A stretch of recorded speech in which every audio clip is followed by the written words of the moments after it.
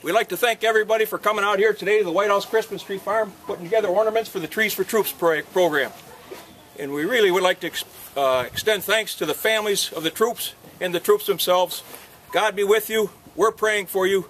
Thanks for keeping us safe here in the U.S. The country loves you. See you soon.